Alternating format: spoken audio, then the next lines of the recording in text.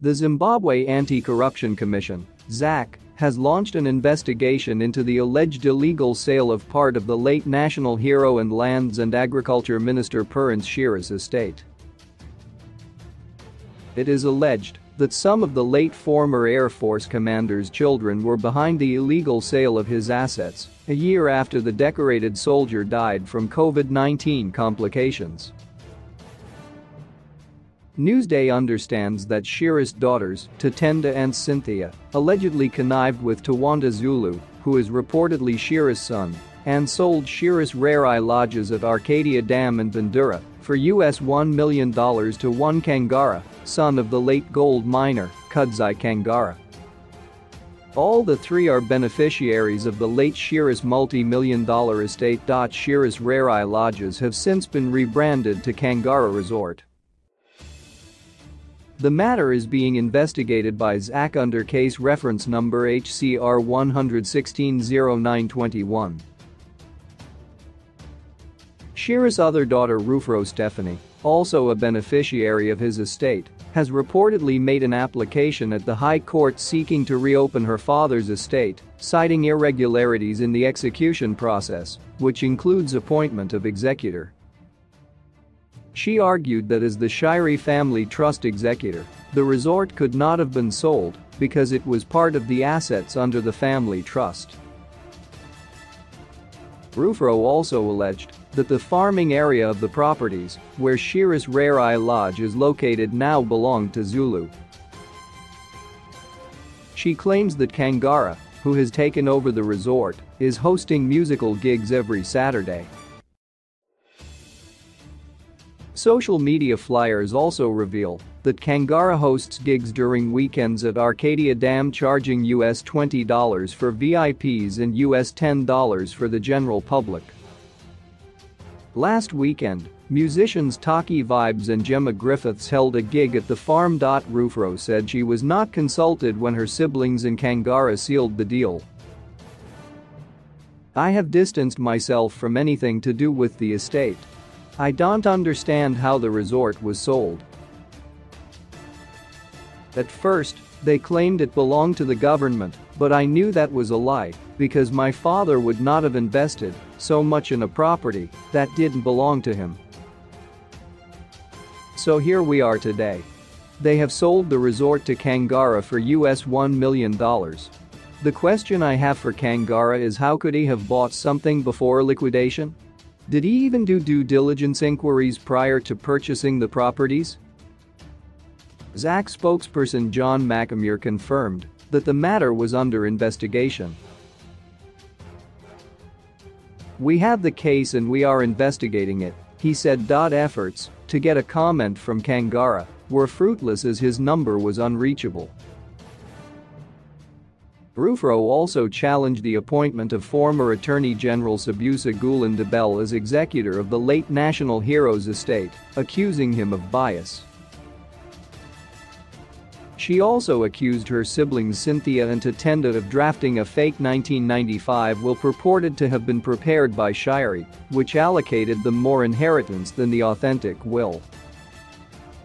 In the 1995 will, Shiri bequeathed 50% of his bank savings and insurance policies to his now late son, Titus and the other half of savings to Tatenda and Cynthia, and all other children yet to be born. A death notice filed at the Master of the High Court showed that Tatenda, Cynthia, Zulu, Rufro Stephanie and Tanaka Shiri, reportedly also known as Tanaka Muspamhiri, were listed as children and beneficiaries of the late Shiri's estate. Rufro questioned why Tanaka and Zulu were included in the distribution list when they reportedly had no national identity documents bearing Shiri's name as well as why the other children received shares on Shiri's properties when the 1995 will stated that they would only get bank proceeds. Tawanda stayed with the family for 10 years and still has no ID. Why is Tanaka included in the distribution account as Tanaka Stephanie Shiri when she has no ID? Tanaka is said to have taken DNAs with an uncle, and the DNAs matched above 90% to suggest that he is her real father. And then on the master's appointment, If he was appointed by the will, why is the executor date of not testamentary, and the document has a stamp for the 20th, when signed on the 21st of August? She questioned why a public office would forget to change date stamps. The letter also shows Mr. Sobusa Gulin came as an executor because he was appointed by the Master of the High Court. This proves the long-standing argument that he was no longer the late's lawyer, that is why he didn't come to read the will.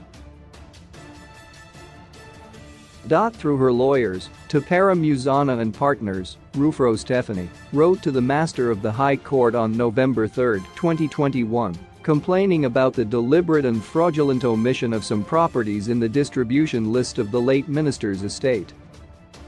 In response to her complaint, in a letter dated November 9, 2021, the Master of the High Court advised her to make a list of the assets that she alleged were left in the distribution lists. Rufro said she would challenge the master, executor, and Tatenda, Cynthia, and Zulu's shenanigans. Zulu referred Newsday to the master of the High Court. Kangara had always had his farm in the said area. The lands ministry can attest to that. His, Kangara, involvement in the matter is not necessary. I will not comment on this issue, but the executor or the master of the high court can give you answers to the questions, Zulu said. Tanaka said she was very sure that she was Shiri's daughter, adding that she had DNA evidence. Whoever is making the allegation is selfish.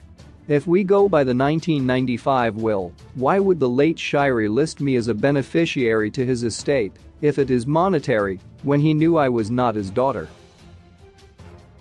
Cynthia refused to comment and referred all questions to Gulen de My father's estate is being handled by the executor Bell. He is better placed to respond to your questions, she said. Repeated efforts to get a comment from Gulen Bell were fruitless as he was not picking up calls. But in an emailed response to a Dean Lovu of Tapera Muzana and partners last week, Gula-Ndebele and partners stated that they had handled Shiri's estate in compliance with the Administration of Estates Act. There is no legal basis for expecting a response from our office. We are actually waiting for the view of the Master of the High Court on that letter. We have handled the late General Shiri's estate in compliance with the law, being the Administration of Estates Act and the legally valid will. A close relative of the Shiri siblings, who spoke to Newsday on condition of anonymity, said the row over the late Shiri's estate among his children was an issue of concern. What we wanted was proper distribution of our late relative's estate in a dignified manner. We just hope that those involved in the legal procedure of distributing the estate will follow due process.